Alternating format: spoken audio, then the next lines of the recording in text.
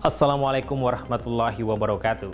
Sobat BMKG, untuk esok hari, sebagian besar wilayah Indonesia masih berpotensi untuk diguyur hujan. Hal ini disebabkan karena adanya beberapa fenomena atmosfer. Yang pertama adalah di sekitar wilayah Indonesia masih terdapat satu sistem aktif siklon tropis, yaitu siklon tropis Darian, yang saat ini berada di Samudra Hindia sebelah barat daya Sumatera, yang bergerak ke barat hingga barat laut.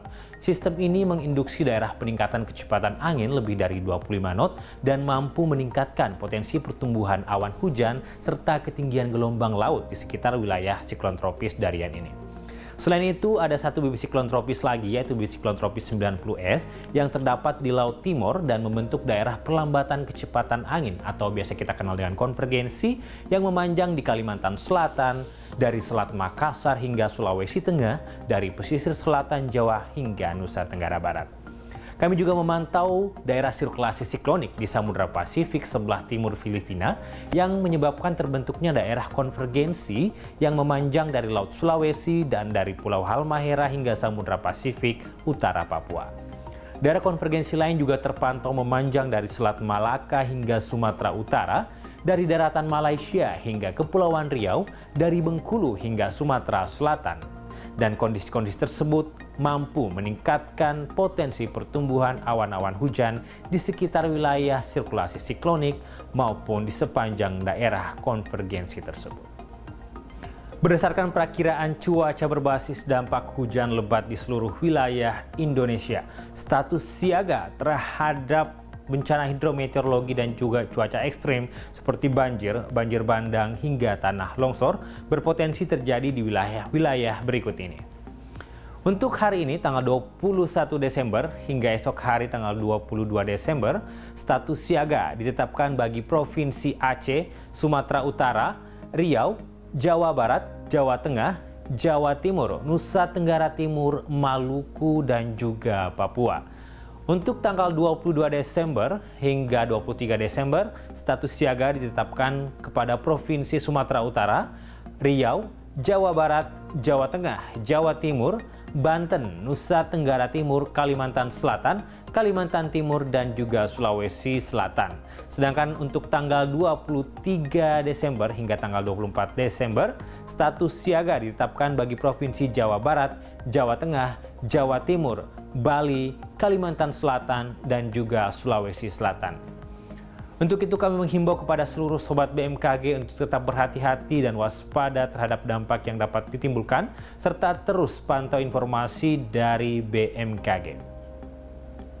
Lantas bagaimanakah potensi cuaca untuk seluruh kota-kota besar di Indonesia esok hari, Kamis 22 Desember 2022? Bersama saya Andi Mario, inilah informasi selengkapnya. Kita awali dari wilayah Sumatera. Untuk esok hari, sebagian besar wilayah Sumatera berpotensi untuk diguyur hujan. Hujan dengan intensitas ringan berpotensi terjadi di wilayah kota Jambi, Hujan dengan intensitas sedang berpotensi terjadi di wilayah Bengkulu dan juga Pekanbaru. Hujan dengan intensitas lebat berpotensi terjadi di wilayah Bandar Lampung dan hujan disertai petir perlu diwaspadai berpotensi terjadi di wilayah Pangkal Pinang dan juga Palembang. Masih di wilayah Sumatera, kita berlanjut ke wilayah kota Tanjung Pinang dan juga Medan. Esok hari berpotensi diguyur hujan dengan intensitas sedang Sementara untuk Banda Aceh berpotensi diguyur hujan dengan intensitas ringan dan kota Padang diperkirakan berawan. Kita lanjut ke wilayah Jawa. Untuk esok hari seluruh kota besar di wilayah Jawa berpotensi untuk diguyur hujan. Hujan dengan intensitas ringan berpotensi terjadi di wilayah kota Serang dan juga DKI Jakarta. Hujan dengan intensitas sedang berpotensi terjadi di wilayah kota Bandung dan juga kota Semarang. Dan perlu waspada untuk kota Yogyakarta dan juga Surabaya karena esok hari berpotensi diguyur hujan disertai petir. Kita lanjut ke wilayah Bali dan juga Nusa Tenggara. Kita mulai dari kota Denpasar, esok hari berpotensi diguyur hujan dengan intensitas ringan. Sementara kota Mataram esok hari berpotensi diguyur hujan dengan intensitas sedang dan kota Kupang berpotensi diguyur hujan disertai petir. Berpindah ke wilayah Kalimantan, seluruh kota besar di wilayah Kalimantan esok hari juga berpotensi untuk diguyur hujan. Hujan dengan intensitas ringan diperkirakan akan terjadi di wilayah kota Pontianak dan juga Palangkaraya, sementara hujan disertai petir berpotensi terjadi di wilayah kota Samarinda, Banjarmasin, dan juga Tanjung Selor. Berlanjut ke wilayah Sulawesi. Hujan dengan intensitas ringan esok hari berpotensi terjadi di wilayah kota Gorontalo, Palu, Mamuju, dan juga Manado. Sedangkan hujan dengan intensitas sedang diperkirakan akan terjadi di wilayah kota Makassar dan untuk kota Kendari esok hari diperkirakan berawan. Yang terakhir kita ke wilayah Indonesia Timur. Untuk esok hari, hujan dengan intensitas ringan berpotensi terjadi di wilayah kota Manokwari, Hujan dengan intensitas sedang berpotensi terjadi di wilayah kota Ternate dan untuk kota Jayapura diperkirakan berawan, sementara kota Ambon diperkirakan cerah berawan. Demikianlah informasi perakiraan cuaca untuk esok hari. Jangan lupa untuk mengunjungi website bmkg.go.id agar memperoleh perakiraan cuaca hingga level kecamatan.